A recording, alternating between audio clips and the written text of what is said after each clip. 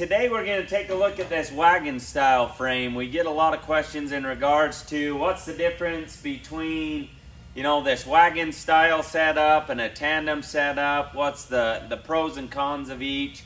So we're going to go over some of those things today and hopefully you can get an idea of what best suits you and how we can set your camp up. It's quite obvious as you look at the two different frames, the difference between them. Um, you'll see that this one has, you know, the, the axle set up on both ends. Now what this does, and a lot of the reason that customers will go this route, like this camp will mainly see rough dirt roads. Very seldom will it see pavement. And so these particular camps handle extremely well off-road. Um, they they track right behind the vehicle. They're really good in tight, tight turns and, and really tight trails. Um, but like I say, on the pavement, they don't fare so well. Um, they don't tow particularly well just for the fact that you don't have any tongue weight. And so there's nothing keeping tension on that camp. So as you pull, as long as you're pulling uphill, they pull great. It's it's when you start to you know make a, a downhill pull that the camp tends to want to push, and so then you start getting some whipping action. And so really, depending on how you're using them, you know, is going to determine how your axles are set up.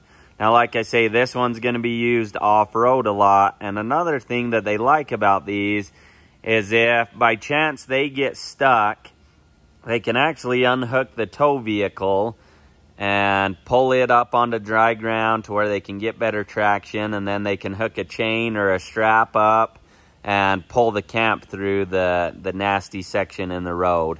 Um, whereas with your tandem, you're not going to be able to do that because your tongue will be dragging. Um, but this is, so we offer two different styles in this wagon setup. We do a fifth wheel plate which means that this whole axle will spin as you turn. Um, very popular option, and they tend, I would say that they, they pull a little bit better than this style. Um, but the nice thing about this style is if I'm hooking up to the truck and I'm in some rough ground or whatever, I don't have to turn the whole axle. As you can see, just the tires turn. Um, it's set up just like your truck would be at the front end. So there's a lot of moving parts in here that have to be maintained. But it's definitely a lot easier to work with than the fifth wheel turntable.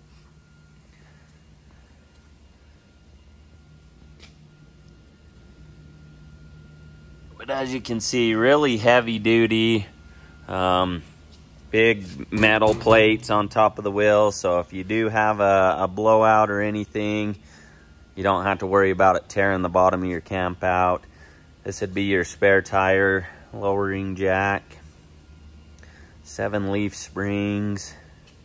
And then all of our camps are set up with the receiver hitch. So you can pull doubles, all DOT lights.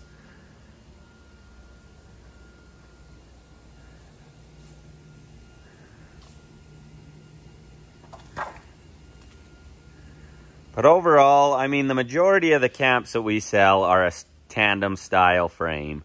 Um, just because a lot of our, our customers travel, this is going to a local customer, like I say, that will be up in the mountains and on the desert the majority of its life. Very seldom will it see pavement, and so it makes sense for them to go with this wagon style frame. If you're planning on traveling a lot on the highway, you know what the it's hard to beat the tandem. And really depending on the size of the camp it's not like you lack a lot of clearance um, just because all of our camps all sit pretty high. I mean we do do undersprung or oversprung um, to help accommodate whatever it is you're doing. But overall they're going to sit higher than any of the trailers on the market but hopefully that answers some of your questions in regards to the wagon style and the tandem style frame. Um, like I say, it really just comes down to how you're using it.